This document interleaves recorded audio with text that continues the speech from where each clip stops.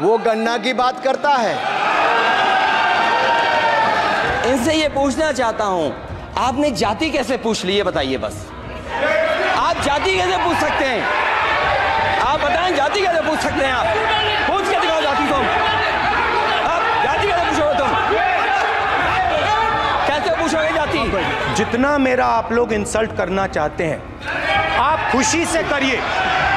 आप रोज करिए मगर एक बात मत भूलिए जाति जनगणना को हम यहाँ पास करके दिखाएँगे। कांग्रेस पार्टी श्री राहुल गांधी और पूरा कांग्रेस पार्टी सुबह शाम रात जाति जाति जाति करते रहते हैं और यहाँ जाति पूछने पर सवाल खड़ा करता है।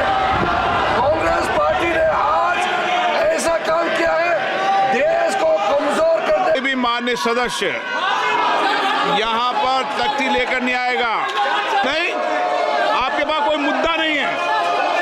आप नियोजित तरीके सदन को गतिरोध करना चाहते हैं, संसदीय कार्य मंत्री जी? नहीं, चलेगा सर अध्यक्ष महोदय विपक्ष का रवैया आज के इस सदन में जो कर रहे हैं मैं उसको खंडन करना चाहता हूँ कांग्रेस पार्टी श्री राहुल गांधी और पूरा कांग्रेस पार्टी सुबह शाम रात जाति जाति जाति करते रहते हैं और यहाँ जाति पूछने पर सवाल खड़ा करता है कांग्रेस पार्टी ने आज ऐसा काम किया है देश को कमज़ोर करने के लिए मैं सर अध्यक्ष महोदय आपके माध्यम से इस सदन को बताना चाहता हूँ कांग्रेस पार्टी ने सबसे पहले देश को तोड़ने के लिए हमारे देश के सेना के खिलाफ बयानबाजी किया है और सेना का मनोबल कमज़ोर करने के लिए कांग्रेस पार्टी ने कदम उठाया है हमारे लोकतंत्र को कमज़ोर करने के लिए हमारा डेमोक्रेसी को खत्म करने के लिए उन्होंने